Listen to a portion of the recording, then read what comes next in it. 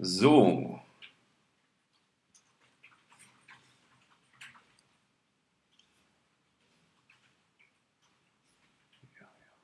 Hallo, hallo.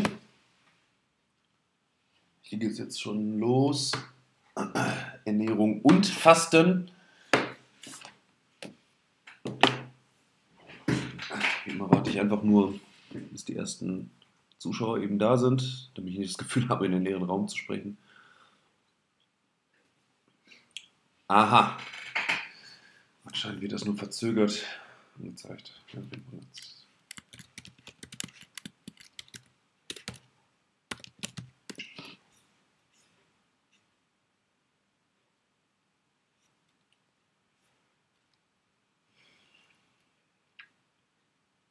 Ich hoffe, bei euch das nicht so gelb, weil ich habe hier einen neuen Monitor und habe natürlich den Readability-Modus an. Das bedeutet, der filtert, also der macht es ein bisschen angenehmer für die Augen, also er filtert viel Blau raus.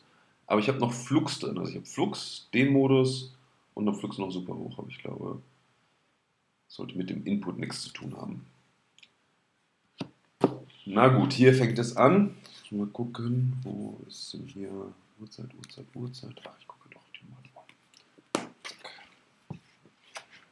Zack. So, ähm, ich gucke mal, dass ich die Sachen mit der Ernährung äh, so ein bisschen anders aufteile als im letzten Video. Na gut, gehen wir mal hier ein bisschen zum Praktischen. Und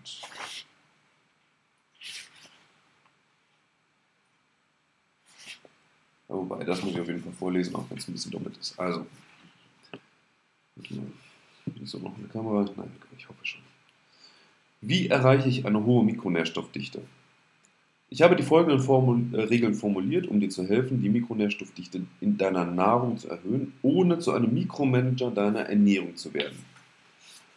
Erstens, isst zu jeder Mahlzeit eine große Portion Gemüse, vorzugsweise grünes, blättriges Gemüse. Vom Gewicht her sollte Gemüse mindestens die Hälfte einer Mahlzeit ausmachen.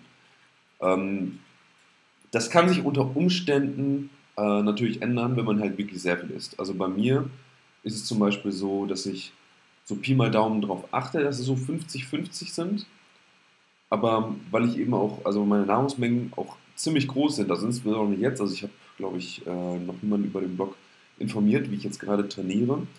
Ähm, beschäftige mich gerade mit organischer Kraft und so einer äh, Mischung aus Ausdauer und Mobilität. So, so, Trainingskonzepte will ich sagen, einfach mal so als abgeschlossene Systeme, wie halt wirklich wie ein Rezept. Also nicht explorativ, kein gar nichts, sondern es ist ein abgeschlossener Korpus von Übungen, von Progressionen und dann kann man das machen. Und ähm, das verbraucht ziemlich, ziemlich viel Energie. Mein Krafttraining habe ich auch umgestellt. Ähm, und deswegen esse ich sehr viel, da ist das ungefähr 50-50. Im Allgemeinen deutlich mehr. Also Gemüse. Ne? Und also nicht nur grünes Gemüse natürlich, sondern das Gemüse insgesamt. Zweitens, ist zu jeder Mahlzeit eine Proteinquelle. Normalerweise sind das Fleisch, Fisch, Rohmilchprodukte oder Eier. Wenn du eine vegane Ernährung verfolgst, sollst du entsprechend darauf achten, dass du sehr abwechslungsreich Hülsenfrüchte und andere vegane, proteinreiche Lebensmittel isst. Als Veganer ist das muss man sehr basteln. Also es geht, ähm, wenn verschiedene Aspekte zusammenkommen. Erstens, man achtet sehr stark darauf. Zweitens, ähm, natürlich, man äh, ist auch der Typ dafür. Also es gibt unterschiedliche Gentypen ähm, bei Menschen und Genvarianten und einige verstoffwechseln eben bestimmte andere Dinge sehr schnell und dann wird es sehr, sehr, sehr schwierig mit der Veganen.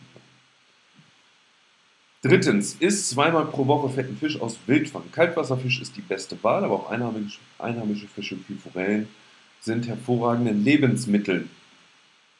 Ähm, ja, fetter Fisch ist gut. Viertens, isst das ganze Tier. Organfleisch hat die höchste Mikronährstoffdichte aller Lebensmittel. Außerdem ist es reich an Methionin, einer Aminosäure, welche ah, eine Aminosäure, welche durch Glutin ausbalanciert werden muss. Ja, das ist äh, tatsächlich ein Fehler hier im Buch, nur dass ihr es äh, mitbekommt, sind reich an äh, Glykin. Und das wiederum äh, gleicht dann ähm, das andere eben aus. Ne? Also Glykin ist in Organfleisch, Methionin ist das, was dadurch ausgeglichen wird. Ähm, diese findest du in Bindegewebe wie Sehnen, Haut und ähnlichem.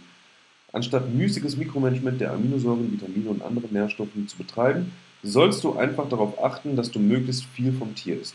Bei Muscheln und Sprotten isst du per Design das ganze Tier. Auch Eier zählen in diese Kategorie, obwohl sie noch keine Tiere sind. Also, die, das ganze Tier zu essen ist eine unheimlich wichtige Sache. Ähm, ja, weil sich auch verschiedene äh, Mikronährstoffe in verschiedenen Teilen vom Tier dann eben akkumulieren.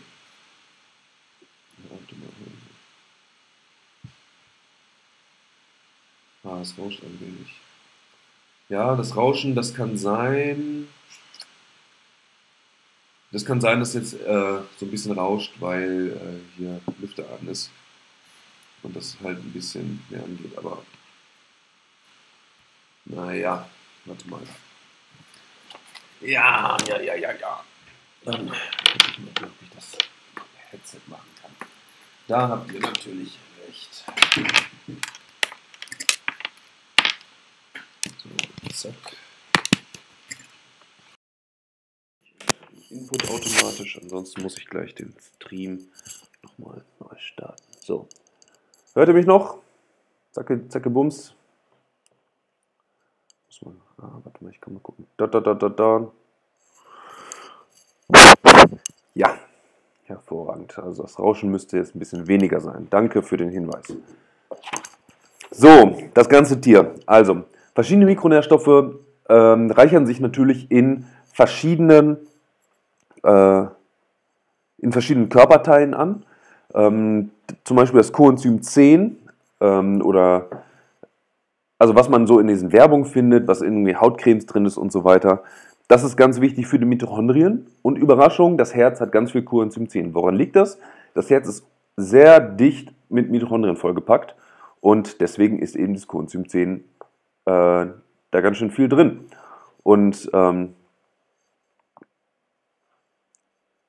deswegen sollte man im Grunde, oder das sind eben zwei Sachen. Also probiert nicht das Ganze zu mikromanagen, also versucht nicht irgendwie, ja, ich brauche viel, viel, Vitamin A und dann trackt sie das irgendwie und all so eine Kacke, sondern esst einfach mehr oder weniger das ganze Tier. Also wenn, wenn man irgendwie mal, also ein Ding nicht isst, also äh, was wäre so ein Beispiel?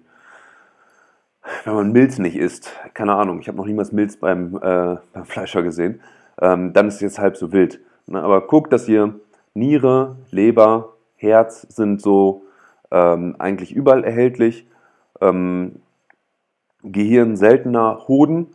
Mein absoluter Tipp, also Hoden, das klingt erstmal, glaube ich, am seltsamsten, vielleicht auch für die Männer, keine Ahnung, vielleicht auch für die Frauen. Ähm, aber wenn man mit Organfleisch anfangen will, sind Hoden das Mittel der Wahl, denn die schmecken echt sehr neutral, selbst wenn man äh, Schafshoden nimmt. Und Schaf ist ja prinzipiell eher sogar noch ein bisschen strenger als die äh, Sachen wie Rind und so. Ist ein bis drei Portionen Organfleisch pro Woche. Wechsel auch hier ab. Leber, Niere, Herz sind diejenigen Teile, welche üblicherweise erhältlich sind. Gehirn und Hoden sind schwieriger zu bekommen. Organfleisch ist mit Abstand das mikronährstoffreichste Lebensmittel, das es gibt. Mit großem Abstand. Also wenn man Paleo macht und kein Organfleisch isst, dann äh, ist man selber schuld. Wenn man Veganer ist, dann isst man natürlich jetzt kein Organfleisch. Da muss man anders an die guten Dinge rankommen. Abwechslung ist wichtig. Wenn du immer nur eine kleine Auswahl von Lebensmitteln isst, wirst du Gefahr laufen, dass du eine bestimmte äh, dass du bestimmte Nährstoffe viel zu wenig aufnimmst, während du andere Nährstoffe zu viel aufnimmst. Diese wirken als Schadstoffe. Das ist zum Beispiel auch eine Sache, äh, die auch bei Nahrungsmittelunverträglichkeit eine Rolle spielen. Wenn man immer und immer und immer wieder das Gleiche isst, entwickelt der Körper natürlich dann auch eine Sensitivität dagegen. Also das kann schon mal passieren. Und ähm, das ist auch ein Vorteil der saisonalen Ernährung. Ich glaube, ich habe in meinem ganzen Leben noch nie so viel Kürbis wie dieses Jahr gegessen. Das ist nämlich auch keine Überraschung. Das ist das erste Mal überhaupt, ähm, dass ich regelmäßiger Kürbis gegessen habe. Ich glaube, das letzte Mal war vor zehn Jahren oder so davor.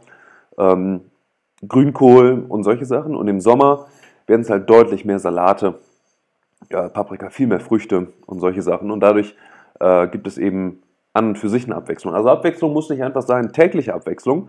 Man kann ruhig zwei, drei Tage mal das gleiche essen und dann eben auf ein anderes, Leben, anderes Lebensmittel wechseln. Ähm, nur eben, ja, muss man eben darauf achten, dass man es überhaupt tut. So, bla bla bla. So. Ne, jetzt geht es darum, wie man Schadstoffe entfernt. Und zwei dieser Schadstoffe sind Pestizide und Antibiotika. Äh, ne, das muss ich jetzt hier noch einmal wiederholen, damit das in der Lesung drin ist, äh, weil ich die natürlich dann auch verlinken werde. Der erste Schritt ist natürlich, die Qualität der Nahrung zu erhöhen. Die Qualität richtet sich in erster Linie nach den Wachstumsbedingungen der Nahrung. Als wir Menschen noch Jäger und Sammler durch, als äh, Jäger und Sammler durch die Gegend zogen, war Wissen über die Nahrung unglaublich wichtig. Wer nichts über Nahrung wusste, hat sich vergiftet. In unserem modernen Wissen jedoch muss ein weiterer Faktor hinzukommen. Vertrauen. Nur die wenigsten können ihre Nahrung wirklich wachsen sehen. Dafür haben wir das Bio-Siegel erfunden. Dieses Siegel soll uns sagen, dass die Wachstumsbedingungen für unsere Nahrung auf eine bestimmte Weise waren. Ich schreibe hier an dieser Stelle ganz bewusst nicht gut. Das Biosiegel ist ein Element der industriellen Herstellung von Lebensmitteln. Dieses durch Profit angeleitet, was ein Grund für die katastrophale Lage des Nahrungsangebots für uns Menschen der Moderne ist. Wenn ich Eier von garantiert artgerecht gehaltenen Hühnern haben will, gehe ich ein paar Minuten zu einem lokalen Schrebergartenbesitzer. Sie sind groß, wohlschmeckend und von Hybridhühnern gelegt, die nicht äh, nicht die Überzüchtungsprobleme ihrer reinrassigen Artgenossen äh, erleiden. Die Eier haben kein Biosiegel, dafür aber mein Vertrauen. Also kurzer Disclaimer, das sind aktuell gar keine Hybridhühner mehr. Ich glaube, das sind äh, quasi ausrangierte ähm, Hühner aus der Massentierhaltung äh, oder aus, aus, äh, ausrangierte Käfighühner, die er dann eben aufnimmt und denen er so eine Art äh, schönen Lebensabend bestellt. Das ist auch ein schöner Gedanke. Ich kann mit eigenen Augen sehen, wie er die Hühner hält, unter welchen Bedingungen sie aufwachsen. Ich kann mich von der Qualität der so überzeugen und brauche nicht auf irgendein Label einer Nahrungsindustrie zu bauen, die uns die unser aller Vertrauen schon häufig missbraucht hat und es immer noch versucht. Wollte ich Bio-Eier kaufen, müsste ich viel Vertrauen vorschießen. Ja, das ist eben die, die seltsame Krux. Also Bio ist auf jeden Fall besser als nicht Bio, aber man soll eben nicht glauben, dass Bio tatsächlich ähm, eine nachhaltige Lösung ist. Also ich glaube, ähm, ich glaube, da wird sich einiges tun. Ich glaube, da wird sich äh, noch einiges, äh, also wird sich einiges entwickeln. Also ich erlebe zum Beispiel immer mehr ähm, so Sachen in Richtung äh, Permakultur tatsächlich. Also ich habe im Real bei uns äh, gibt es sogar Permakultur äh, äh, Produkte. Ich habe natürlich keine Ahnung, was das eben heißt. Also ich glaube, Permakultur ist kein geschützter Begriff, zumindest nicht, soweit ich weiß. Und ähm, ja, weiß der Geier, also was da eben, es ist einfach ein bisschen teurer, ich habe es nicht nachgeprüft und es zählt als Bio, es ist Bio-zertifiziert und ähm, deswegen ist es im, im Grunde noch ein Schritt. Nächster Schritt wäre, ich könnte mich irgendwo hier im Gebüsch Gemüse anbauen, ja, aber nächster Schritt wäre natürlich dann auch ein eigener Garten und irgendwann dann natürlich äh, mehr Kontakt dann hier zu den regionalen Bauern, aber weiß der Geier, wo ich dann in äh, absehbarer Zeit wohnen werde. So. Wir können an dieser Stelle den Vergleich zu unseren Vorfahren, den Jägern und Sammlern, ziehen. Sie brauchten Vertrauen in die Nahrung. Haben sie ein Tier frisch erlegt oder gerade eine Handvoll Beeren gepflückt, mussten sie ihr Vertrauen aus dem Wissen um die Bekömmlichkeit ziehen. Die Beeren könnten giftig sein und das Tier könnte eine ansteckende Krankheit haben. Du bist dieser Jäger und Sammler, welcher nun vertrauenswürdige Nahrung sucht. Ein Jäger und Sammler der Urzeit würde uns wahrscheinlich für wahnsinnig halten, wenn er erführe, wie wenig Zeit und Energie wir mit in die Güte unserer Nahrung investieren. Bei verarbeiteten Bioprodukten wird es noch viel schwieriger, echtes Vertrauen aufzubauen. Wir müssen dem Bauern vertrauen, dem Zwischenhändler, dem Hersteller, der die Produkte zum Müsli verarbeitet und dem Händler, welcher das Müsli vertreibt. Daher glaube ich nicht an sogenannte innovative Naturkostmarken, die moderne, hochqualitative Bioprodukte vertreiben. Das ist übrigens ein äh, Originalzitat aus einer Mail, äh, ich kriege ja ab und zu so, äh, tja, wie nennt man das? Code Approach Pitches. Also äh, werde aus dem heiteren Himmel angeschrieben, ob ich nicht Lust auf eine Partnerschaft hätte. Ähm, manchmal stellen die Leute sich auch gar nicht vor. Die sagen, hey, ich vertreibe Bioprodukte, hast du Bock auf eine Partnerschaft? So ganz aus dem Blauen heraus. Ich frage mich, was da so die Erwartungshaltung ist. Ja, ich meine, ich finde Partner, ich finde Zusammenarbeit cool, aber weißt du, ne, naja, Also es scheint so, dass sie zumindest hinreichend Erfolg damit haben, damit das Verhalten nicht abgestellt ist. Jedenfalls, äh, genau, sind hier, also wenn man sich zum Beispiel Bio-Müsli kauft, das ist nicht unbedingt, äh, also es ist so weit weg von einem natürlichen Lebensmittel und natürlich ist hier nicht äh, so ökomäßig gemeint, sondern ähm, da stecken so viele Zwischenschritte dahinter, dass das Vertrauen eben nicht mehr gerechtfertigt wird. Also kauft euch lieber dieses Zeug nicht. Ja, sie haben den Anspruch, Nahrung von hoher Qualität zu vertreiben. Wenn die Nahrung deinen Vorstellungen entspricht, vegan für Veganer, kein Getreide für Palios und so weiter, können wir einen kleinen Schritt in die richtige Richtung gehen. Du sollst allerdings bedenken, dass Hersteller solcher Produkte ebenso eingebunden in das kapitalistische Netz der Nahrungsindustrie sind wie jedes andere Unternehmen auch. Das heißt, dass sie dem gleichen Druck nach Profit ausgesetzt sind. Sie sind nicht erfolgreich, wenn sie dich mit guter Nahrung versorgen. Sie sind erfolgreich, wenn sie sich auf dem Markt behaupten. Also das ist im Grunde auch eine Sache, ähm, die werde ich irgendwann mal noch sehr viel deutlicher ausformulieren. Äh, das Ding ist, was viele Leute nicht so auseinanderhalten können, ist, was real passiert und was im Grunde zweckrational ähm, oder was aufgrund der vorhandenen Zweckrationalität der Beteiligten an einem Markt passiert und dem, was geregelt ist, reguliert ist, gewollt ist und so weiter. Ähm, nehmen wir mal, tja, was wäre so ein Beispiel? Ein Beispiel, was nicht politisch ist. Ich habe ziemlich viel Politik in den letzten Monaten so verfolgt und das ist ja richtig zum Kotzen. Ähm, ja, nehmen wir mal einfach, äh, sagen wir mal, das ist ein gutes Beispiel. Sagen wir mal, äh, deine Freundin, ich tue mal so, als wäre, also als wärt ihr ein Du, nee, sagen wir mal, die Freundin eines äh, Mannes fragt, sehe ich in diesem Kleid gut aus? Was soll er sagen? Die Wahrheit? Eine Notlüge, die sieht übrigens scheiße aus in dem Kleid. Also sie sieht natürlich super gut aus, aber das Kleid sieht zum Kotzen aus. Ähm, oder ausweichen. Nee, es kommt eben darauf an, welches kurz- und welches langfristige Ergebnis man haben will. Ähm, man könnte eben sagen, ja, natürlich ne, versucht man ihr ein gutes Gefühl zu geben, aber will man das wirklich?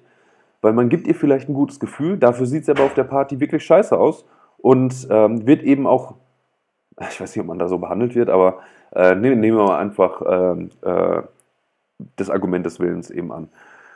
Möchte man seine Partnerin wegen so einer Nichtigkeit anlügen? In welche Partnerschaft befindet man sich? Befindet man sich in einer Partnerschaft, in der äh, man so wenig Innigkeit hat, in der man selbst bei solchen unwichtigen Dingen nicht eine unangenehme Wahrheit sagen kann. Ne, das basiert natürlich auf Gegenseitigkeit. Also wenn, ähm, ne, also jetzt nehmen wir mal an die Frau, jetzt kommt es hier zu, diesen, ähm, zu den Annahmen, die ich Ihnen sage. Nehmen wir mal an, die Frau äh, sagt, ja, ich will, dass du mir immer die Wahrheit sagst. Okay, denkt sich der Mann. Klingt ein bisschen autobiografisch, aber niemals äh, hat, ist in meinem Leben nicht vorgekommen, die Situation. Ähm, sagt sie, okay, der Mann, der nimmt das ernst. Die Frau zieht irgendein Kleid an, was halt gar nicht geht. Der Mann sagt, du Schatz, ich finde dich nach wie vor wunderschön, aber das Kleid, das geht gar nicht. Und was macht die Frau? Wie reagiert sie? Honoriert sie die Ehrlichkeit oder sagt sie, das geht ja, ne, du verunsicherst mich total, ich habe das Kleid ganz lange ausgesucht und im Grunde dreht sich das nur um sich in beiden Fällen, also ne, wenn das nicht geht, wenn man da nicht die Wahrheit sagen kann, dann passiert vor allem eines. Man wählt kurzfristigen Nutzen und langfristigen Schaden. Und das ist im Grunde das, was bei, ähm, sagen wir, bei diesem ganzen Biokram eben auch stattfindet. Das ist ein kurzfristiger Nutzen, denn immerhin hat man äh, so ein bisschen was gemacht, äh, man ist ein bisschen Schritt in die richtige Richtung gegangen. Der langfristige Schaden stellt sich eben dann ein, wenn ähm, sagen wir mal, die Lebensmittelindustrie und eine Industrie, und ich meine das in ihrer großen Anonymität, dadurch im Grunde die Mittel an die Hand bekommt, weiter äh, dieses Schmierentheater zu betreiben.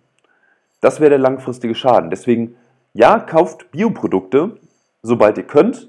Ne? Also ich, ich kenne das als Student. Ich habe damals ähm, quasi so viel Bio gekauft, wie, es, wie mir leisten konnte.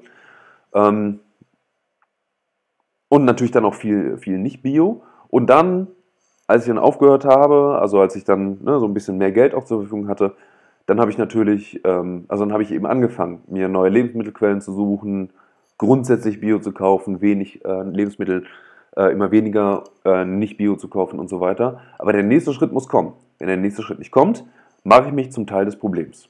So. Hier geht es weiter. Wie lange bin ich schon? Zehn Minuten, ja. Noch zehn Minuten, dann geht es hier weiter zum Fasten. Ich glaube, dass die meisten Hersteller solche Produkte gute Absichten haben, doch auch die Hersteller ihrer Ausgangsprodukte, doch haben auch die Hersteller ihrer Ausgangsprodukte gute Absichten. Vielleicht beziehen sie ihre Rohstoffe von einem Großhersteller, der sich mit dem Biosiegel lediglich einen höheren Profit verspricht. Wie sehr vertraust du diesen Menschen, die du niemals in deinem Leben gesehen hast und wahrscheinlich niemals sehen wirst? Halten sie sich wirklich an eine Bio-Verordnung? Weißt du überhaupt, was hinter der Bio-Verordnung steckt?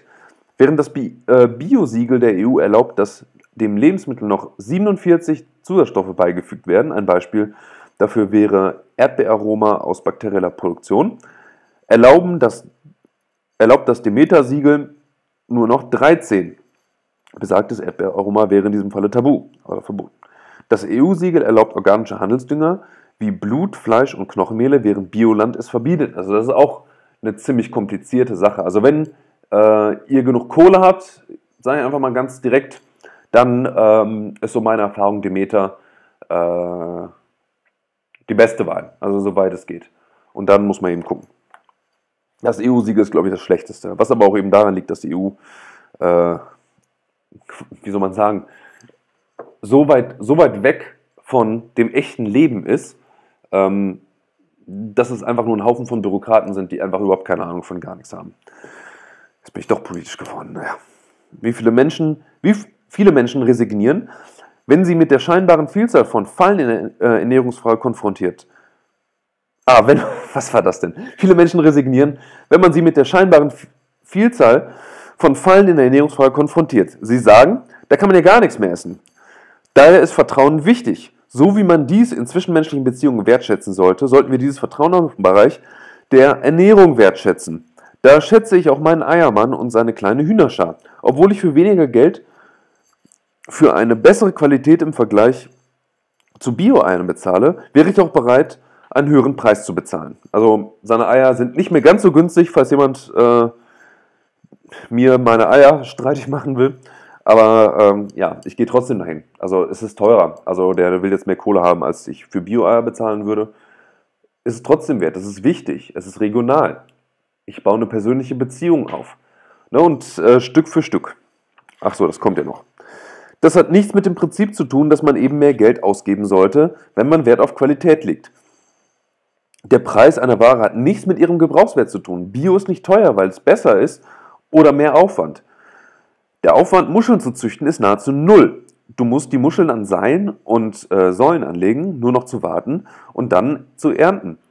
Aber sind Muscheln deswegen billiger als etwa Pangasius, welcher mit absurden Mengen Antibiotika behandelt werden muss, damit er in der Massenhaltung im eigenen Kot überlebt? Der Preis einer Ware bestimmt sich in ihrer in der Wirtschaft ausschließlich danach, was Menschen bereit sind zu zahlen. Daher haben wir so enorme Preisspannen in jeder Produktkategorie, welche sich nicht in der Qualität der Produkte widerspiegelt. Deswegen, also jeder Markt hat auch eine eigene interne Logik. Also, ähm, wie soll man sagen, also bei Honig geht, geht was anderes, also gibt es quasi eine andere Gewinnspanne als zum Beispiel beim Wasser. Und beim Wasser gibt es eine andere Gewinnspanne als bei Fahrradpumpen. Teilweise sind die Gewinnspannen super, super krass. Bei Supplementen, da gab es einige Skandale so in der Fitness-YouTube-Szene. Ähm, da hatten die Gewinnspannen, das war unglaublich. Also das war, ähm, was einmal geleakt wurde, das war, ich weiß gar nicht mehr, was für ein komisches Produkt das war. Ähm, das hat 1,80 gekostet äh, pro Dose vom quasi, also bis es wirklich bei dem Endverkäufer lag. Und der wollte es für 30 Euro verkaufen gab natürlich einen riesen Aufschrei, also hat es auf 20 Euro runtergesetzt. Aber der hat immer noch, der verkauft das Ding für das Zehnfache von dem, was er selber bezahlen musste. Das ist zum Beispiel das, was ich aus der Supplementeindustrie mitverfolgt habe. In anderen Sachen oder in, äh, in anderen Bereichen ist die Gewinnmarge extrem klein. Also das ist, ähm, das, das hat nicht viel miteinander zu tun. Wenn ich meine Eier beim besagten Eiermann kaufe, nehme ich in gewisser Weise doch am Markt teil. Schließlich bezahle ich mit, äh, mit Geld und der gute Mann wird davon seine Miete bezahlen oder ähnliches. Der wichtige Unterschied zu einem Bio-Ei ist die persönliche Beziehung, welche ich zu diesem Mann aufbaue.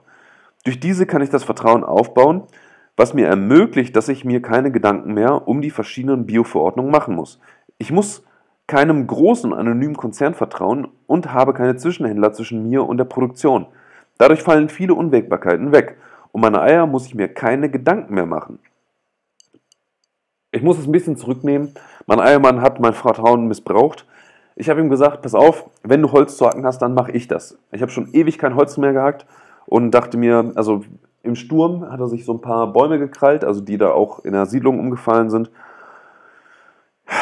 Und dann hat so ein anderer Typ die gehackt. Ja, das war sehr schrecklich. Die wichtigen Stellen, um so ein Vertrauensverhältnis aufzubauen, sind der Wochenmarkt. Hier bieten viele Bauern ihre Waren direkt an. Du kannst mit deinem Produzenten sprechen und eine persönliche Beziehung aufbauen. Je weniger Zwischenhändler du in deiner persönlichen Nahrungskette hast, desto weniger Probleme wirst du haben. Es kommt anscheinend auch auf den Markt an. Ich habe auch gehört, ähm, ich habe auch äh, gehört, also ich habe von einem Markt gehört, das ist überhaupt nicht das. Äh, eine Klientin von mir drüber gegangen und hat gesagt, die verkaufen einfach alle nur Importprodukte. Das gibt es auch. Ne? Also man muss das Beste aus dem machen, was man gerade zur Verfügung hat. Der regionale Bauer. In vielen Fällen verkaufen Bauern direkt am Hofladen. Natürlich musst du aufpassen, weil sie unter Umständen ihr Sortiment durch Zukauf von anderen Gütern erweitern müssen, damit sie ihren Hofladen führen können. Ne? Also weil die Leute natürlich nicht von irgendwie zu zehn Hofläden äh, wollen. Dann haben die eben auch Bio-Avocado irgendwo bei sich. Dann direkte Umgebung und dein Garten. Oft sind es versteckte Kleinode wie Schrebergartensiedlung oder dein eigener Garten, welche zu deiner Quelle bester Nahrung werden können. Vertrauen ist es, was deine Nahrung frei von Pestiziden und Antibiotika hält. So, hier war eine Frage. Ich wusste es. Hashtag Politik von Thorsten mit Borsten. Hast du letztes Jahr gewählt und wenn ja, welche Partei? Ich beantworte keinerlei politische Fragen. Auch wenn ich manchmal aus Versehen politische Kommentare irgendwie mache. Aber wir haben hier keine Politiksache und äh, das gerät immer aus den Fugen. So, bla bla, für manche schädlich, Individualisierung. Wir haben noch drei Minuten für äh, da, da, da, gutes Einkaufen, vertrauensvolle Einkaufsroutinen. Einkaufstechnik, das hatten wir alles. Na egal, wir machen mal das Fasten. So viel Zeit haben wir hier nicht. Fasten, Fasten, Fasten, Fasten. Fasten ist, glaube ich, auch. So, Fasten. In diesem Buch werde ich drei Begriffe von Fasten verwenden, die sich alle aufeinander beziehen. Erstens Fasten, zweitens intermittierendes Fasten, drittens, drittens metabolisches Fasten. Fasten ist der willentliche Verzicht auf Speisen und Getränke. Da kann man entweder generell darauf verzichten, etwas zuzuführen, oder man kann sich lediglich auf gewisse Auswahl, eine gewisse Auswahl von Speisen und Getränken beziehen. Also das ist auch im Grunde das, was man Fasten eigentlich meint. Also man macht nichts außer Wasser trinken. Einige trinken Tees, einige trinken noch Kaffees und so. Ne, das ist immer unterschiedlich. Intermittierendes Fasten heißt, dass man Perioden des Nichtessens mit Perioden der Nahrungszufuhr auf geplante Weise abwechselnd. Jedes Nichtessen, das länger als 24, äh, das länger als 24 Stunden dauert, fasse ich nicht mehr als intermittierendes Fasten auf, sondern als generelles Fasten. Intermittierendes Fasten bedeutet also, dass wir mindestens einmal am Tag essen. Das ist eine ganz wichtige Unterscheidung. Warum habe ich diese Unterscheidung getroffen? Weil die Nahrung oder beziehungsweise der Wechsel von Nahrungszufuhr und äh, Nahrungs, ja, Enthaltsamkeit will ich mal nicht sagen, aber ne, der Wechsel eben von Essen und Nicht-Essen, äh, ein wichtiges Element des Kikirdan-Rhythmus ist, also des Tagesrhythmus, des biologischen Tagesrhythmus. Und ähm, wir leben eben in einer Welt, in der der Rhythmus nicht optimal funktioniert. Ich hocke jetzt zum Beispiel hier drinnen, meine Augen haben kein UV-Licht. Ich weiß nicht, also ich, ne, mein, mein Gehirn, meine Retina und mein äh, SCN, also ist der Supra, Scha, bla bla, Nucleus. Ich weiß, kann den Namen immer nicht aussprechen. Das ist auf jeden Fall das Ding, was äh, die Tageszeit und die Uhrzeit äh, eben misst. Das, ähm, der weiß es eben nicht. Und ähm, deswegen versuche ich im Grunde möglichst viele Aspekte ähm, zu verstärken. Also deswegen ist intermittierendes Fasten eben auch ähm, eine, ein so ein Mittel, also das ich eben wähle, um ähm, eben auch den Kikirtan-Rhythmus dann eben zu verstärken, damit eben die ganze Maschinerie noch in Harmonie läuft. Und deswegen empfehle ich hier ausdrücklich nicht, äh, längeres Fasten regelmäßig zu machen. Einfach weil ich nicht sehe, dass der Vorteil ähm, sagen wir einmal im Monat für drei Tage zu fasten oder so, äh, die Kosten übersteigt. So. Zumindest wenn man regelmäßig fastet und sich ansonsten gut ernährt, Bewegung hat und so weiter. Ne? Das ist natürlich kontextabhängig. Metabolisches Fasten ist der Verzicht auf jede Nahrungszufuhr, die den Fastenstoffwechsel wesentlich stört. Diese Definition beinhaltet absichtlich das Prädikat wesentlich, weil metabolisches Fasten ein Begriff mit unklaren Grenzen ist. Metabolisches Fasten ist im Grunde ketogene Ernährung, könnt ihr euch so vorstellen. Backloading ist auch metabolisch intermittierendes Fasten. Also man Backloading bedeutet einfach, äh, sagen wir im einfachsten Fall, ich trainiere um 5, äh, ne, ich arbeite jetzt, sagen wir mal, einfach ganz gewöhnlichen 9-to-5-Job ähm, oder mit gewöhnlichen Zeiten und ähm, esse zum Frühstück High Fat, moderat Protein, zum Mittagessen High Fat, pro, moderat Protein äh, oder auch moderat Fett, moderat Protein und zum Abendessen nach dem Training esse ich zum Beispiel Kohlenhydrate. Also eine, irgendeine Kohlenhydratquelle oder stärkereiche Quelle. Äh, oder, na egal. Jedenfalls ist das eben metabolisch intermittierendes Fasten in Anführungsstrichen. Also den Begriff würde ich da nicht verwenden, aber ne, das, so ist es ein bisschen anschaulicher. In einfachen Worten, Fasten heißt nicht essen. Intermittierendes Fasten ist der geplante Wechsel von Nicht-Essen und Essen. Metabolisch Fasten heißt, dass es so ist, dass dein Körper ähnliche Reaktionszeit, als hättest du nichts gegessen. Das ist eine häufige Frage. Unterbricht der Bulletproof Coffee mein Fasten? Unterbricht das und das mein Fasten? Und kann ich irgendwie noch einen Shake trinken? Kann ich eben das machen und so weiter? Der Fastenstoffwechsel ist eine komplexe Sache und besteht nicht nur aus einer Sache. Also wenn ähm, man fastet, äh, Entschuldigung, wenn man Kohlenhydrate weglässt und man sich nicht tonnenweise Protein reinknallt, dann ändert sich der Stoffwechsel schon. Das könnte man eben auch als Fasten Surrogat bezeichnen. Ich nenne es hier metabolisches Fasten. Ähm, Metabolismus meint vor allen Dingen hier den Energiestoffwechsel. Ähm, es gibt aber auch Clock-Gene, die in der Leber, die gehen scheinbar an, wenn man irgendwas zuführt, was eben nicht Wasser ist zum Beispiel. Und ähm, die Rhonda Patrick sagt dann eben auch, in ihrer Fastenphase trinkt sie auch keine Tees, weil äh, sie eben nicht, die, also nicht quasi nicht die Uhr in der Leber einfach anschalten will, sondern alles halt ähm, gleichmäßig haben will. Ich mache das eben genauso. Ich trinke deswegen auch äh, während meiner Fastenphase nur Wasser. Also kann man das nicht so genau sagen, es kommt darauf an, was man machen will. Aber wenn man Fasten komplett haben will, dann trinkt man eben einfach nur Wasser.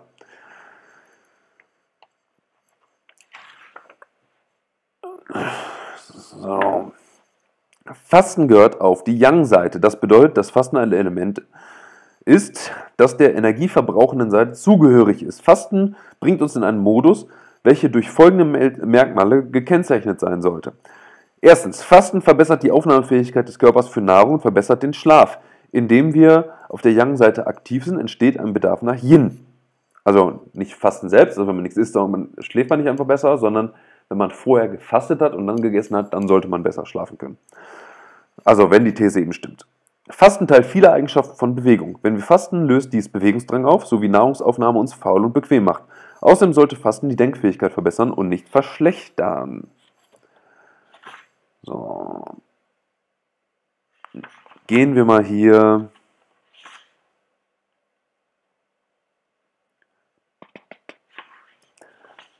Genau, gehen wir mal einfach direkt hier ähm, zu Fasten und Bewegung. Das ist, glaube ich, das Interessanteste. Also für die Leute, die jetzt zuhören. Fasten und Bewegung teilen sich viele Eigenschaften. Darin können wir erkennen, dass beide zur Yang-Seite des Lebenswandels gehören. Yang heißt Energieverbrauch. Achso, habe ich ja vorher erwähnt. Beide gehen mit einer verbesserten Insulinsensitivität her. Falls ihr hört, dass intermittierendes Fasten oder Fasten die Insulinsensitivität verschlechtert, genauso, ähm, genauso äh, äh, wie die ketogene Ernährung, dann gilt das für längere Dauern. Intermittierendes Fasten bis zu mindestens bis zu 36 Stunden verbessert die Insulinsensitivität. Das macht vor dem Hintergrund Sinn, dass eben auch Leber- und Muskelglykogen verbraucht werden. Muskelglykogen nur, wenn ihr Sport macht. Wenn nicht, dann nicht. Ähm, oder nicht in einem äh, ausreichenden Maße, dass das irgendwie jetzt relevant wäre. Fasten, und das lässt sich einfach äh, durch die Bank weg nachweisen, ich wiederhole es jetzt einfach nochmal, verbessert die Insulinsensitivität, wenn es nicht lange gemacht wird, sondern kurzfristig. Beide führen zu reduzierten Energiespeichern, beide führen zu einer Ausschüttung von Stresshormonen. Erinnern wir uns an den zweiten Anspruch des guten Fastens. Wenn wir fasten, löst dies Bewegungsdrang aus, so wie Nahrungsaufnahme uns faul und bequem macht. Das ist auch ein wichtiger Test. Ich weiß gar nicht, ob ich, ob ich jetzt den hier lese, deswegen sage ich es mal von vornherein. Wenn Fasten dich müde macht, hast du eine schlechte metabolische Flexibilität. Bist du wach, konzentriert und spritzig während des Fastens, dann hast du eine gute metabolische Flexibilität. Wenn deine metabolische Flexibilität scheiße ist, dann sollst du nicht fasten. Das Training der metabolischen Flexibilität kommt immer vor dem Fasten. Also man fängt nicht einfach an und ja, das Fasten verbessert geringfügig die metabolische Flexibilität, aber bevor man das macht, sollte man erstens die Kohlenhydrate auf das Maß zurückschrauben, auf das man verbraucht. Also man muss den Verbrauch dann irgendwie ausrechnen, erstens. Zweitens, seine Ausdauer massiv verbessern.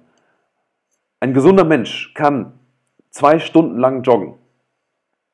Nicht schnell, aber joggen. Nicht walken und auch nicht Nordic walken.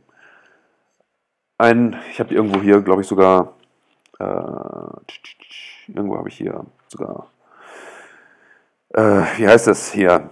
Standards. Tja, finde ich jetzt nicht. Ähm, es gibt einige Standards für die metabolische Flexibilität und das sind Leistungsstandards. Ähm, die ersten Standards gehen in Richtung Ausdauer. Dann, wenn man die eben hat, dann geht es in Richtung Fasten. Eine weitere, ein weiterer Test für die Fastenfähigkeit ist übrigens, kann man 24 Stunden fasten, ohne dass man maßgeblich sein Leben verändern muss. Wenn man weniger Sport machen muss, als man es gewohnt ist, ist die metabolische Flexibilität zu schlecht für das eigene Leben. Nicht jeder braucht die gleiche. Mehr ist natürlich besser. Aber wenn man eben, äh, sagen wir mal, einfach eine Stunde Yoga am Tag macht und ansonsten sich nur einigermaßen äh, aktiv verhält, dann benötigt man weniger, eine geringere metabolische Flexibilität als zum Beispiel jemand, der zweimal am Tag CrossFit macht oder so. Das ist auch klar. Sollte man nicht immer können. Ne? Also es das heißt nicht, dass man eine Woche lang fasten soll und äh, ne, dann zählt jeder Tag irgendwie einzeln oder jeden Tag 24 Stunden fasten oder so eine Scheiße. Das läuft der allgemeinen sozial, sozialen Konditionierung entgegen. Normalerweise denken wir, dass wir schlapp und müde sind, wenn wir nichts gegessen haben. Du brauchst doch Kraft, damit du trainieren kannst. So lautet der häufige Nachsatz, der uns empfohlen wird, vor dem Training noch eine Stärkung zu uns nehmen, zu nehmen. Doch sehen, wir uns der, doch sehen wir uns an, wie der Körper auf das Fasten reagiert. Während des Fastens schüttet er Hormone aus, welche uns bewegungsfreudiger machen. Grelin ist ein Hungerhormon. Grelin verbessert die Herzleistung. Der Körper macht sich auf Anstrengung, äh, bereitet sich auf Anstrengung vor und macht das Herz-Kreislauf-System startklar. Grelin erhöht bei akuter Gabe die Bewegungsfreudigkeit von Mäusen. Das ist exakt das, was Hunger machen sollte. Man wird aktiv und motiviert. Hunger ist eine der grundlegenden Motivation in der Natur für Bewegung. Nicht Sattheit. Man hat nicht Kraft, wenn man satt ist. Man hat keine Energie, wenn man satt ist. Also keine, äh, sag ich mal, spirituelle Energie zur Bewegung. Das macht keinen Sinn. Man bewegt sich, weil man Hunger hat. Bewegung ist die Lösung auf das Problem des Hungers. Grelin ist wichtig für kognitive Funktionen wie das Gedächtnis. Das wache, klare Gefühl, das viele während des Fastens verspüren, kann man wenigstens teilweise die, diesem notropischen Hungerhormon zuschreiben. Für die Jagd muss man wach und klar sein. Dazu kommt natürlich, also andere Hormone, auch anabole Hormone, haben einen positiven Effekt auf die Kognition manchmal. Äh, und deswegen ist übrigens auch eine Sache, die ich noch nicht ausgearbeitet habe, aber ich vermute sehr stark, dass der Wechsel von Fasten und Essen, ähm, dass man den ausnutzen kann, wenn man äh, lernt. Aber frag mich nicht wie. Äh, ich, ich, vermute einfach mal, dass man quasi äh, kreative und belastende Sachen einfach während des Fastenfensters eben macht und dann isst und dann einfach entspannt. Und das Ganze sich sitzen lässt. Aber mal gucken, vielleicht komme ich ja irgendwann noch dazu. Grelin bewirkt bei Mäusen eine verbesserte Stressresistenz bei verschiedenen Belastungstests, wie beispielsweise erzwungenem Schwimmen. Interessant ist, dass sie den erhöhten Grelin-Spiegel durch eine Kal äh, Kalorienrestriktion erreicht haben, in Klammern Hunger. Das heißt, das Experiment lief so, dass die einfach die Mäuse haben hungern lassen, die armen, äh, armen Dinger, und dann hat man die einfach in, in eine Wanne geschmissen Und dann mussten sie eben schwimmen und dann hat man getestet, okay, wie sieht es mit den Stresshormonen aus und so weiter. Und das verbessert sich. Grelin erhöht den Blutzuckerspiegel, wenigstens nach akuter Gabe. So steht im Gehirn mehr Energie zur Verfügung. Das ist eben auch Teil, ähm, wahrscheinlich auch indirekt über das Wachstumshormon. Das kann natürlich auch sein. Also das ähm, ist auch so ein Faktor. Aber Hunger löst eben eine Freisetzung des Glykogens aus. Glykogen ist freigesetzt Glucose, Glucose ist Energie. Grelin erhöht bei akuter Gabe den Dopaminfluss im Nucleus accumbens bei Mäusen einem wichtigen Teil des Belohnungssystems. Das ist eben auch so eine Sache. Das Belohnungssystem, von dem man so viel hört, ist nicht das Glücksding. Es ist ein Belohnungssystem. Man wird belohnt für etwas. Äh, der Manfred Spitzer hat das präziser bezeichnet. Der hat gesagt, das ist kein Belohnungszentrum, erst recht kein Suchtzentrum. Die Funktion des Zentrums ist nicht äh, das Auslösen von Sucht, sondern die Funktion des Zentrums ist es zu lernen. Deswegen sind auch, ist auch Social Media so schädlich weil man immer irgendwelche Sachen lernt, die man eigentlich nicht lernen möchte. John Peterson hat dann ein richtig gutes Video. Äh, Moment, das habe ich glaube ich sogar. Nee, habe ich nicht. Tja, dann sage ich es eben nicht. Ähm, Im Grunde baut sich durch eine Sucht ähm, so eine Art Subperson äh, Subpersönlichkeit aus, die kognitiv ist, die lügt, die sagt die Wahrheit, die macht Dinge. Und ähm, das ist eine große, große Sache, die verstehen also, oder die ist, sag mal, falsch dargestellt.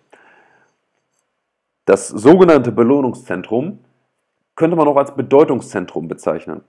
Und Fasten, das ist eigentlich die fantastische Sache, Fasten sensibilisiert einen für Belohnungserwartung. Und ähm, die Fähigkeit, die Fähigkeit, ähm, sich zu konzentrieren, ist eigentlich auch oder es äh, besteht auch aus der Fähigkeit, den Mangel an Belohnungsantworten auszuhalten. Wie bringt man das alles zusammen? Naja, man überlegt sich, was machen zum Beispiel Mönche? Beten, meditieren, fasten. Kein Wunder, dass die Typen so cool drauf sind.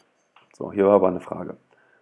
Luna Pi, äh, Luna Pi, ja, Luna Pi, hallo, ja, hallo zurück. Ludehelm, du wolltest dich auch mal mit Wasserfasten beschäftigen, zum Beispiel in Kombination mit Wandern. Ich empfinde Durst lenkt mehr ab als Hunger. Ja, ähm, es gibt ein Buch, das ich jetzt nicht hier habe, aber von Erik Pfeiffer. Müsst ihr mal gucken. Von Erik Pfeiffer, das heißt, ah, Moment, Pfeiffer, Amazon. Kann ich euch gleich in einer Sekunde nennen. Wahrscheinlich gibt es eine Million Erik Pfeiffers. Hoffentlich aber auch nicht. Tisch. Die Medizin der inneren Uhr, wie Zeitgeber ihre Gesundheit schützen können. Der hat eine Abteilung, äh, hat einen Unterabschnitt zum äh, Thema Wasserfasten. Also Wasserfasten heißt, man trinkt halt eben kein Wasser. Ähm, ich bin mir nicht sicher, was ich davon halten soll. Ähm, ich meine, das gerät halt so ein bisschen so in die äh, Paleoromantik, sage ich einfach mal, ne? weil hier in Deutschland, da haben wir eigentlich keine Wasserknappheit gehabt, zumindest. Ähm, ne? Der Grundwasserspiegel sinkt noch und nöcher, bald haben wir hier auch irgendwie ein paar Probleme wahrscheinlich. Ähm, ich kann mir noch erstmal keinen Reim darauf machen. Prinzipiell finde ich die Idee interessant, weil es eben ein Stressor ist. Und ähm, das, was ich aber auch gemacht habe, war eben im Sommer, da bin ich ähm, einmal die Woche für so drei bis fünf Stunden gewandert, also zügig und bergauf und bergab. Also es war, sag mal kurz, äh, es war schon eine Ausdauerbelastung, eine milde Ausdauerbelastung und äh, da habe ich auch nichts getrunken und habe es einfach mal ausprobiert. Okay, Ludehelm hat noch eine Frage gestellt, dann geht es hier gleich weiter. Angenommen, die Ernährung ist hinreichend hochwertig, kann regelmäßiges Fasten nicht bei ausreichender Fastenfähigkeit, metabolische Flexibilität die Nebenniere doch zu stark belasten. Er hängt vom Kontext natürlich ab. Ähm, wenn man, also ein Problem ist zum Beispiel, wenn man intermittierend fastet und ganz viel psychischen Stress hat. Das Problem ist, dass wir in der Moderne das entkoppeln konnten. Bewegung ist im Grunde, ähm, oder anders, Handeln war früher identisch mit Bewegung. Wenn ich jemanden verletzen wollte, dann musste ich dem eins auf die Fresse geben. Heutzutage äh, kann ich einen fiesen Kommentar zum Beispiel schreiben, auf, äh, irgendwo auf Social Media oder so. Ich wüsste gerne, wer das mal gemacht hat. Ich, ich, es ist mir unbegreiflich, wie man, äh, wie man, wie man das machen kann. Ich, ich, ich naja, egal. Jedenfalls, ähm, das ist eben dann das Problem. Bei psychischem Stress wird, äh, ist die Reaktion genauso wie bei körperlichem Stress. Das Problem ist natürlich, dass die äh, erstens, dass der psychische Stress meistens langanhaltend ist. Also körperlicher Stress, der ist so 20 Minuten meistens und dann ist halt vorbei. Ähm, es sei denn, man joggt oder so, aber für gewöhnlich 20, 30 Minuten mit ne, ein bisschen Action und ähm, dann hört es halt auf. Oder es halt abwechselnd ne, mit vielen Pausen und so weiter. Aber psychischer Stress ist zum Beispiel Zukunftsängste, wäre so ein psychischer Stress. Oder Stress auf der Arbeit. Stunden um Stunden um Stunden. Wenn man dann intermittierend fastet und äh, dann natürlich auch nicht die Energiesubstrate abgenommen werden, ja, dann äh, kann die Nebenniere in dem, in dem Fall natürlich so stark belastet werden. Wenn man aber jetzt mein Beispiel annimmt, ich bin ein super ausgeglichener Typ äh, mit einer sehr geringen Agreeableness, einer äußerst geringen Agreeableness, also Big Five äh, Personality Traits ist da der, der äh, Bezeichnungsrahmen. Bei mir gibt es halt keinen Stress. Ich hänge halt hier rum, mache meine Zwischenroutine und so weiter. Meine Zwischenroutinen, äh, meine äh, hier Nebennieren sind tippitopp. Auch wenn ich die ganz schön durchlasse. Ist natürlich auch eine Sache des Trainings. Ne? Also Progression ist wichtig. Auch die Nebennieren wachsen an der Belastung. Also die wachsen nicht. Ich weiß nicht, ob die physisch wachsen, aber die Belastbarkeit wird auf jeden Fall besser. Das Hungerhormon Grelin bereitet unseren Körper auf die bevorstehende Anstrengung vor. Fasten und Bewegung passen zusammen. Wenn du fasten, sagt der Körper, bewege dich. Das ist vernünftig, denn schließlich hat Fasten früher einmal bedeutet, dass es Zeit ist, auf Nahrungssuche zu gehen. Fasten erhöht den Noradrenalinspiegel und verbessert die Sensibilität für Adrenalin. Diese Hormone haben verschiedenste Wirkungen, wie erhöhte Muskelkontraktionsfähigkeit äh, der Muskeln, Freisetzung von Energiereserven und ähnliches. Kurz gesagt, Körper und Geist bereiten sich auf Belastung vor. Die Reaktionen des Körpers auf Fasten legen nahe, dass, sich in, dass er sich in einen Zustand versetzt, der besonders geeignet für Bewegung ist. Auch darum, dass wir genügend Energie zur Verfügung haben, müssen wir uns keine Sorgen machen. Die einmal in der Muskulatur als Glykogen gespeicherten Kohlenhydrate können nicht mehr heraus. Dafür fehlt ihnen das benötigte Enzym Glucose-6-Phosphatase. Also die Muskeln, also wenn einmal Glykogen, äh, Glucose reingekommen ist, kommt es nicht mehr raus, außer als Laktat. Es gibt den äh, Kuri-Zyklus, so bezeichnet man im Grunde den, äh, den Kreislauf zwischen Muskel und Leber. Das heißt, die Muskeln verbrauchen Glykogen, das wird als Laktat ausgeschüttet oder als Laktat dann eben exportiert, ähm, geht dann eben per Blut an die Leber, die Leber per Gluconeogenese äh, macht daraus wieder Glucose und schüttet das eben wieder raus und die Muskeln nehmen das auf.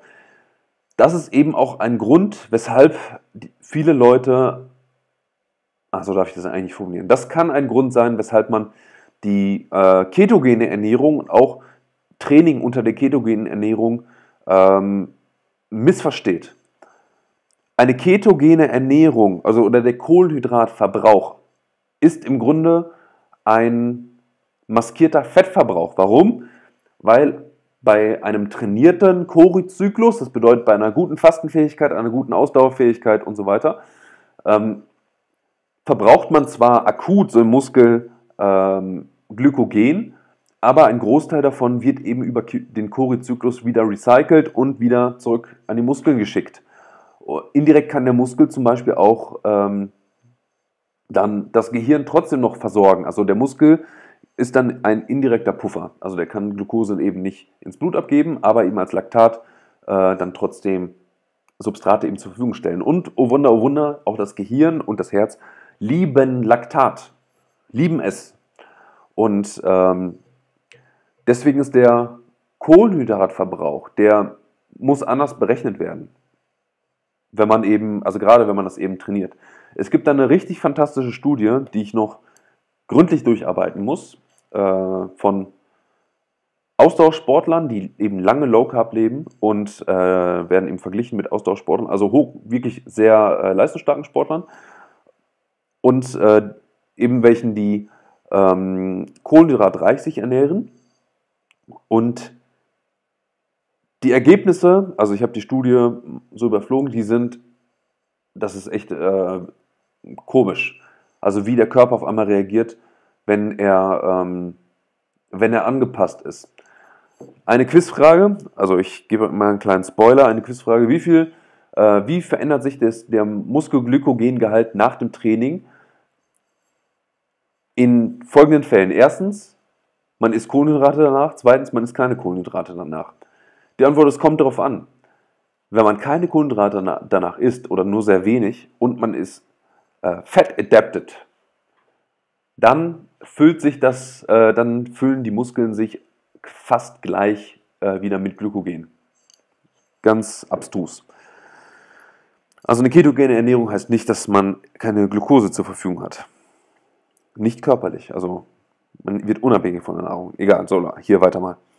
Solange du im Anschluss an eine längere und intensive Belastung genügend Kohlenhydrate zu dir nimmst, im Falle einer eher kohlenhydratreichen Kost, oder die Fähigkeit des Körpers trainiert hast, Glucose herzustellen, im Falle einer eher kohlenhydratreduzierten Kost, besteht kein Grund zur Sorge. Außerdem kann ein gesunder Körper auf das Körperfett zurückgreifen. Weder Kraft noch Ausdauer sind durch das Fasten eingeschränkt. Hat man auch getestet bei Soldaten, denen haben einfach drei Tage nichts zu essen gegeben und sowohl Kraft als auch Ausdauer sind nicht geringer, äh, sind nicht zurückgegangen. Warum wird dann vielen Menschen schlecht, wenn sie vor dem Krafttraining nichts essen?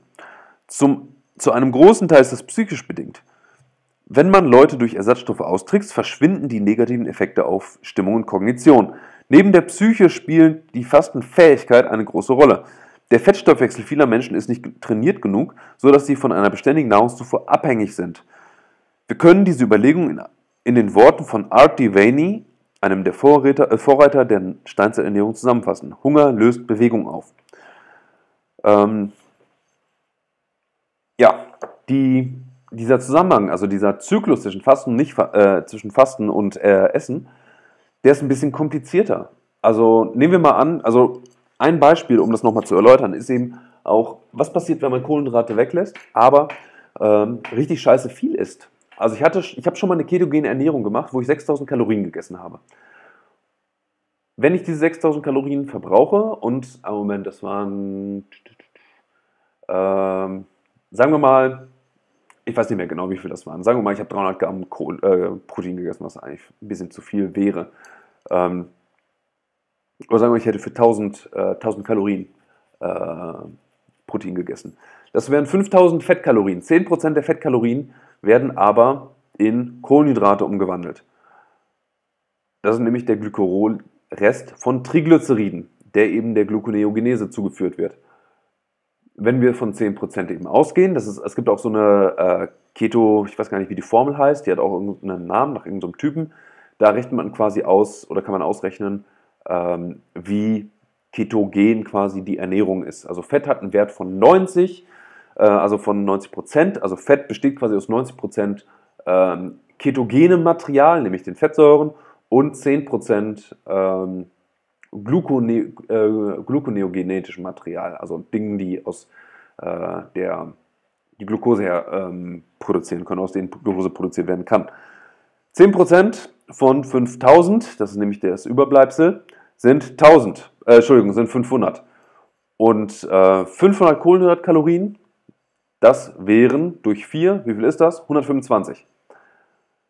Das heißt, das könnten, könnten schon 125 Gramm Kohlenhydrate sein, ähm, oder äh, 125 Gramm ja, Kohlenhydrate, die mein Körper daraus herstellt.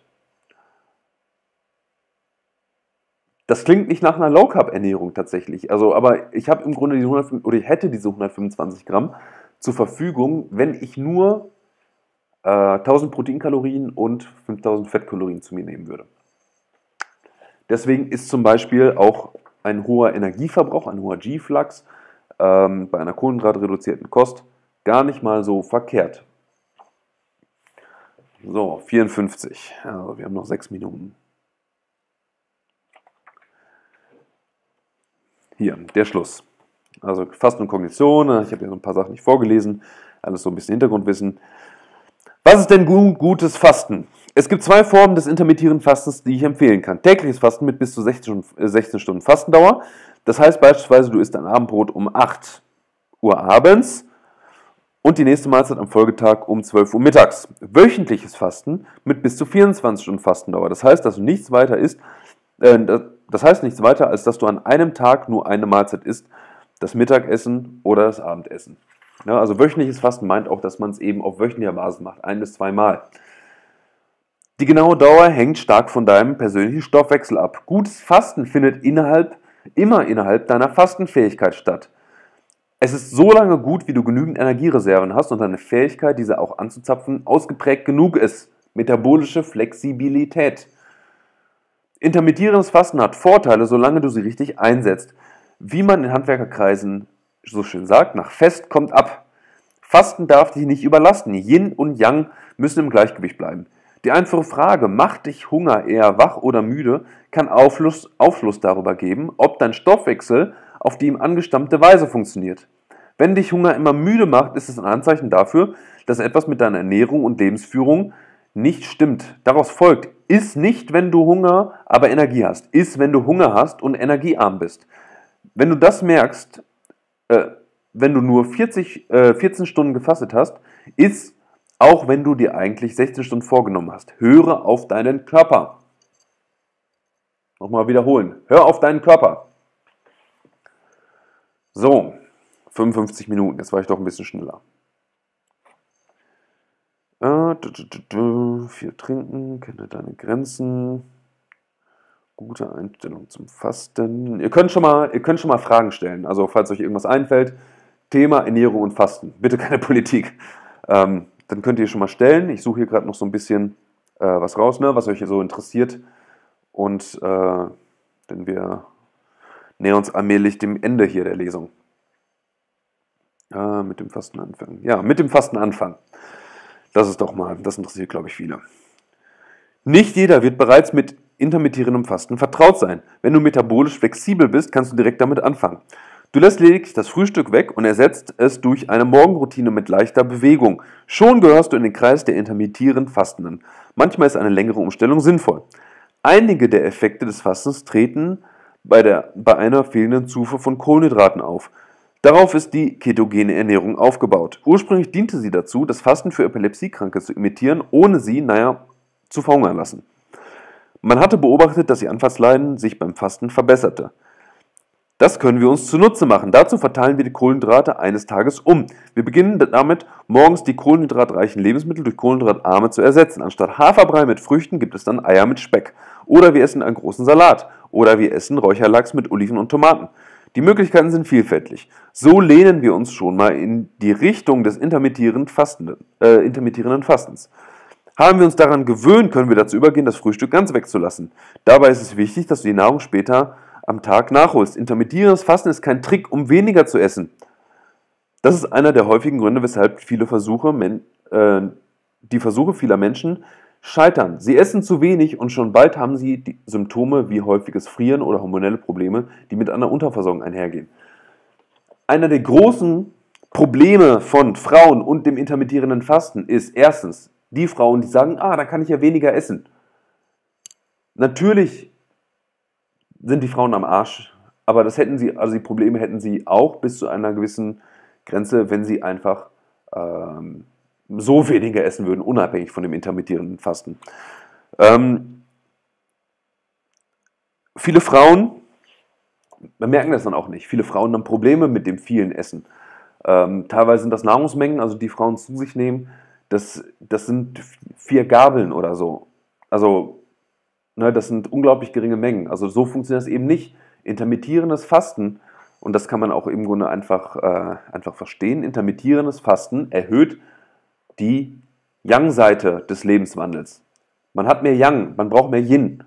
Man kann nicht einfach fasten und nichts weiter verändern. Und eine erhöhte Nahrungszufuhr kann eben, ähm, kann eben dazukommen. Kann eben auch anders laufen. Also ne, kommt auch wann, wie die Balance ist. Wenn man frisst wie ein Schwein und dann fastet, kann es sein, dass das Fasten einen ähm, näher an quasi das gewollte Mittelmaß, an den, an den gewollten Ausgleich dann eben bringt äh, bringen kann. Bringt. Ich weiß gar nicht mehr, wie der Satz anfing. So, hier geht's los mit den Fragen. Banana Joe, wie stark ist der Unterschied von vollständigem Fasten, also nur Wasser, zu Fasten mit Tee und so weiter. Kommt darauf an, was du meinst. Ähm,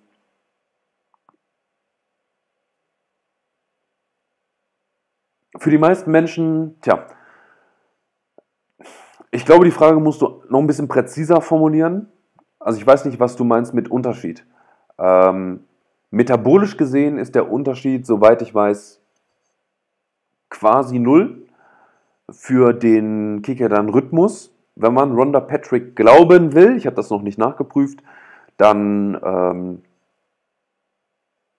besteht der Unterschied in der Aktivierung der Clock-Gene in der Leber, mindestens in der Leber. Ähm, für das Mikrobiom macht es noch einen Unterschied, weil mit Wasser kann es nicht so viel anfangen.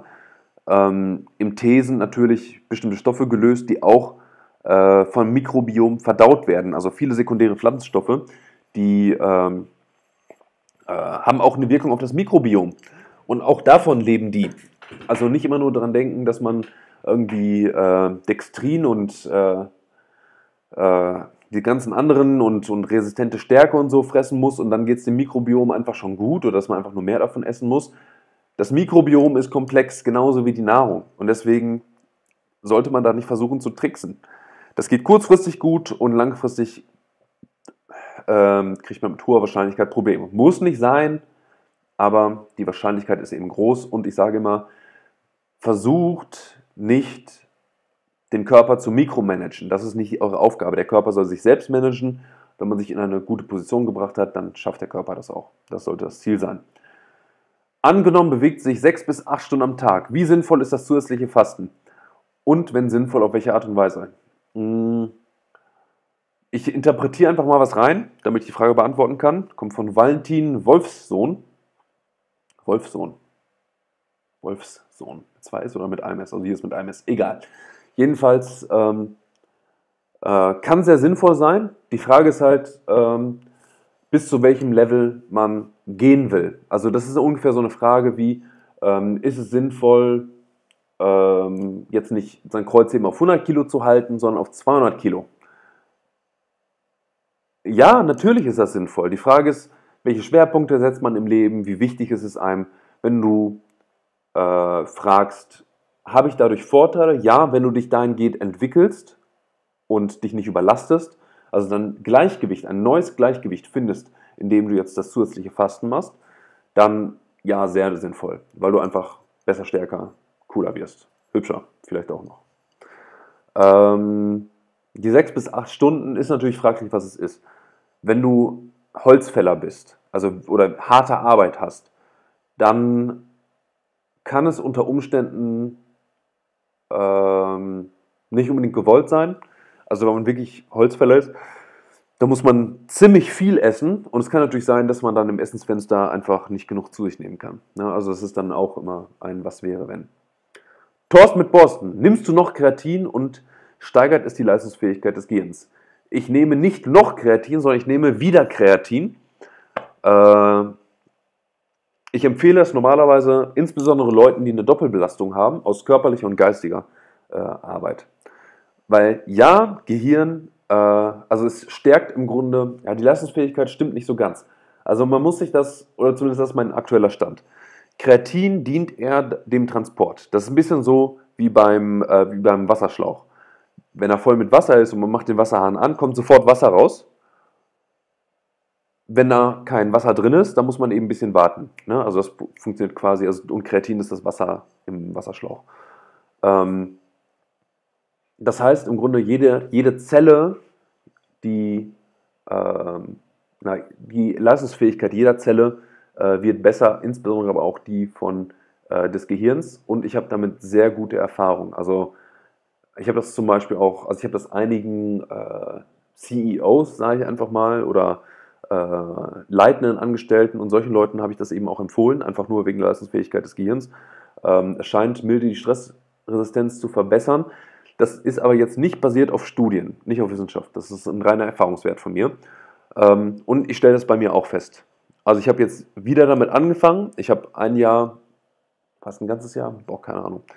Jedenfalls mindestens ein Jahr, äh, würde ich sagen, habe ich quasi gar kein einziges Supplement genommen ab und zu, wenn ich mich nach gefühlt habe, war eben Magnesium die Ausnahme. Und habe jetzt wieder mit Kreatin angefangen. Äh, vor allem auch, weil mein Training jetzt deutlich intensiver ist, als das es im letzten Jahr war. Und ähm, die Ergebnisse bei mir persönlich, also ich bin ein Hyper-Responder. Also ein äh, Kumpel von früher hat immer gesagt, dass äh, aufgrund meines Optimismus immer so ein 20-prozentiger äh, Placebo-Effekt stattfindet, wo bei ihm aufgrund seines Pessimismus ein 20-prozentiger Nocebo-Effekt irgendwie immer wirkt. Aber ne, ich persönlich habe da gute Erfahrungen gemacht und auch, ähm, äh, auch bei anderen. Also ne, empfehle ich sehr regelmäßig. Muss nicht sein, aber kann, ja. Steffen V. Du hast erwähnt, dass wenn man zu viel von einem, einem Nahrungsmittel isst, eine Intoleranz entwickelt. Kann. Man kann eine Intoleranz entwickeln. Hast du einen Tipp, einen Hinweis, wie man diese Intoleranzen umkehren kann? Beziehungsweise einen Buchtipp? Buchtipp bei Nahrungsintoleranzen. Ähm, ein, habe ich jetzt auch nicht hier. Ein Praxisbuch ist von Paul Check, How to Eat, Move and Be Healthy. Äh, das ist im Grunde, ich würde sagen, das Paul Check Ding oder das Paul Check Pendant zu hier dem Ding von mir. Äh, das ist im Grunde das Grundlagenwerk, mit dem man die Grundlagen äh, für den eigenen Lebenswandel schaffen kann. Und von ihm kommt auch das Ding mit der Rotational Diet. Ich bin nicht ganz einverstanden, was den wissenschaftlichen Unterbau betrifft. Also ich glaube, in dem Buch hat er auch nicht direkt zitiert, weshalb ich das Buch so nur unter Vorbehalt empfehle. Also ich empfehle äh, Bücher, die nicht direkt zitieren, also wo ihr keine Fußnoten oder Endnoten oder so seht, äh, immer nur mit Bedingung. Weil äh, im Grunde ist jeder Versuch einer Argumentation, die Wahrheit von etwas zu übertragen auf etwas anderes. So ein bisschen so äh, hier wie beim Staffellauf.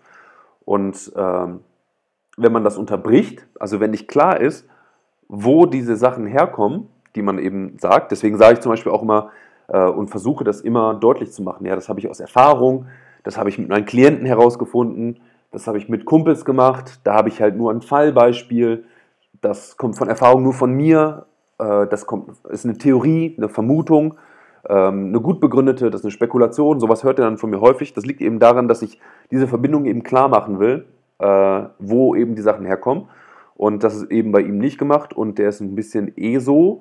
Äh, der Erfolg gibt ihm recht, also das Gesamtpaket ist cool. Auf jeden Fall kann man da sich die Praxis holen und das ist sehr viel wichtiger, finde ich, als dieser ganze Theoriekram. So, Banana Joe, Steff, Ed Steffen V ich hatte eine Intoleranz, am besten bekommt man die weg, indem man einfach ausgewogener ist. Die Intoleranz ist ja nur ein Symptom und keine Ursache. Ganz genau.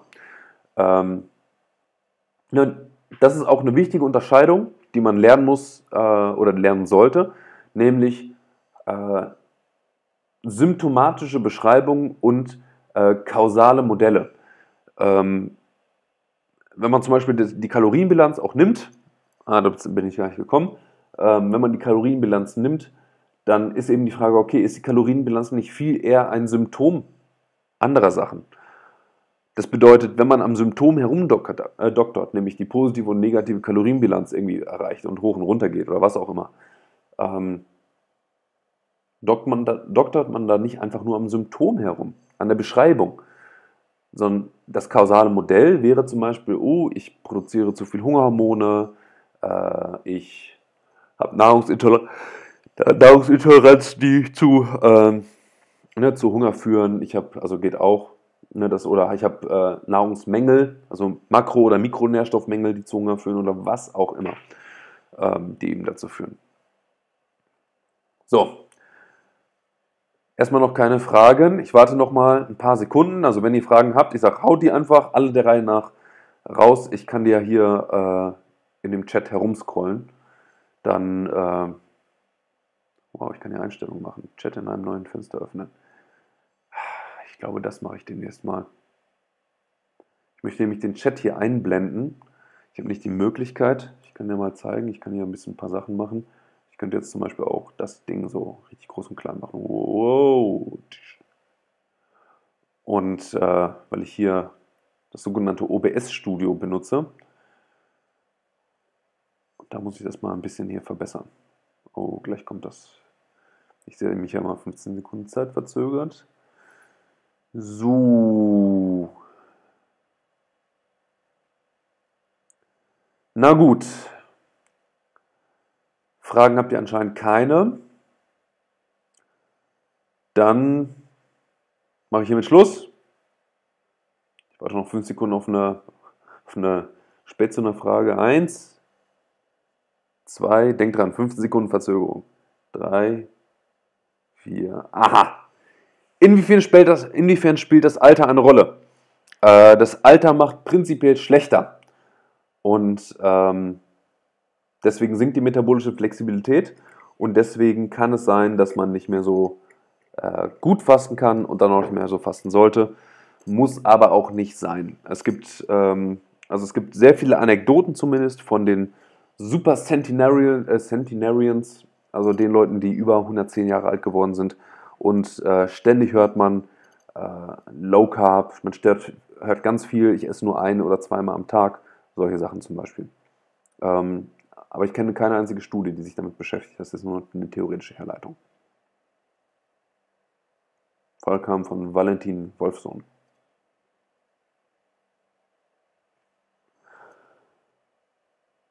Na gut.